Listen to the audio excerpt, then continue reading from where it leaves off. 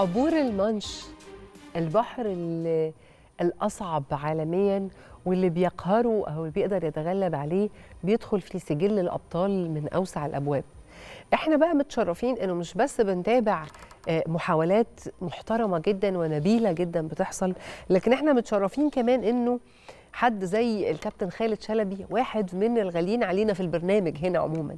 كتير ما نتابع هذا البطل اللي طبعا قاهر المنش السباح اللي عبر المنش آه، بيد واحدة آه، واللي كتبت عليه وما زال هو بطل عالمي آه، معتبر دوليا يعني الكابتن خالد شلبي. لكن كمان كابتن خالد عمل مدرسة كده مدرسة في رعاية الموهوبين من ذوي الهمم واقدر أقول إنه لوحده.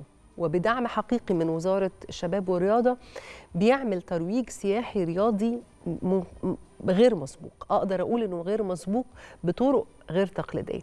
آه، كابتن خالد من فترة مش مش بعيدة شاركنا بإنه في فريق تحت التحضير من الأبطال الجداد. واحد من هؤلاء الأبطال اللي بيتحضر اليومين دول وإحنا شايفين إنه من واجبنا إننا ندعمه وإننا نكون معاه وإننا نتابعه بي- بيتحضر إنه يكسر الرقم القياسي. السباح أحمد أسامة في طريقه لكسر الرقم القياسي وعبور المنش مرة تانية آه، وهو من ذوي الهمم عشان يدخل موسوعة جانس.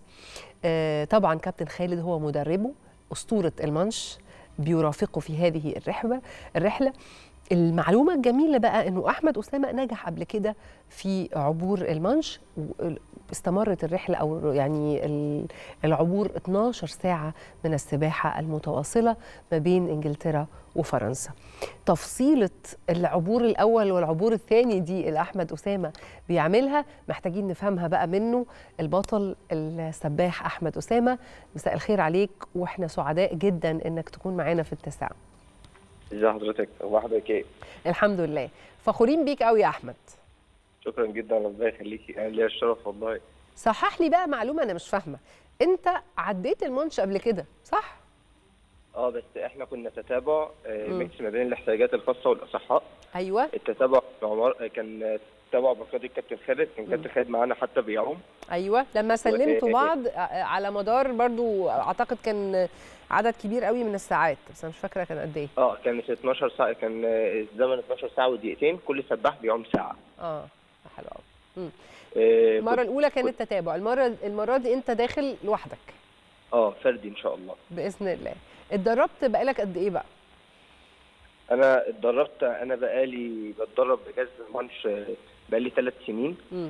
آه، تمرينات طبعا آه، الصبح وبالليل تحت اشراف كابتن خالد. آه، فالحمد لله يعني كابتن خالد يعني حطينا في كل الظروف الص- الصعبة بتاعة الماتش سواء برودة المية سواء الطيارات. سواء حتى يعني كل ما هو يعني بيحدث في المانش الحمد لله كابتن خالد دربنا عليه. جهزكوا ليه طب أنا عايزة أسألك يا أحمد ودي فرصة كويسة نقول للناس ليه بيعتبر المانش أو عبور المانش ده milestone أو أو تسجيلة كبيرة جدا في تاريخ أي سباح؟ ليه؟ اشرح للناس ظروف الخاصة بتاعة بحر المانش اولا المانش صعوبة بحر المانش زي صعوبة تسلق جبل إيفرست. أول مم. حاجة بتقابلنا برودة المية المية طبعا ساعه جدا يعني يعني صعب الإنسان نورمال يستحملها. آه، الطيارات الطيارات صعبة جدا يعني كأن في زلزال آه، من تحتنا حرفيا. زلزال مية يعني الواحد ساعات بيحس إن هو فعلا بيعوم في مكانه كأنه ما بيتحركش. فدي العوامل كلها اللي يعني بتعوق أي سباح يعني محترف. يعني مش سباح عادي بتعوق سباح محترف أحمد إلى أي مدى أنت متفائل بأنك إن شاء الله تدخل موسوعة جانس وتكسر الرقم القياسي الرقم القياسي اللي كان قبلك قد إيه؟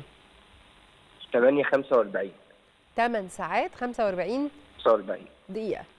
أنت اتدربت كسرت الرقم ده في التدريب ولا ولا احكي لي عن التدريب وصلت فيه لكام؟